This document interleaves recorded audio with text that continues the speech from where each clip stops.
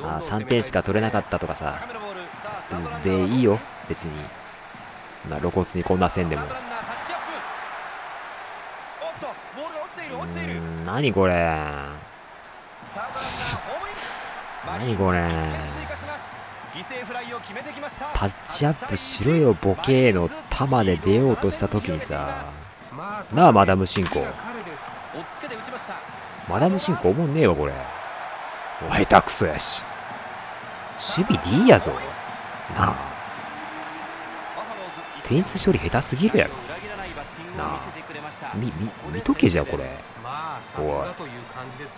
提出するところかカスタマーセンターに。見て見てみろこれ。意味わからんよ。フェンスって跳ね返るよって教えた方がいい。練習の時に。マジックテープとかついてないからあのペタってくっつかないよって。教えた方がいい。バカみたいにフェンス近づいてるけど。跳ね返りますよ。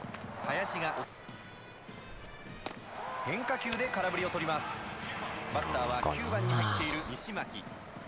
ツーアウトランナーありません。ちょっと買い出せんがな。ああー振るわ。はいはい。変化球空振り。振るな釣り玉を。恥ずかしいわ見てて。見てて恥ずかしい釣り玉をブンブン振る君らの姿。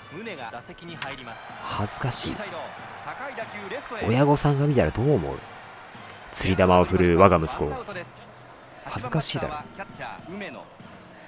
高めの釣り玉になすすべもなく空振りをし三振する息子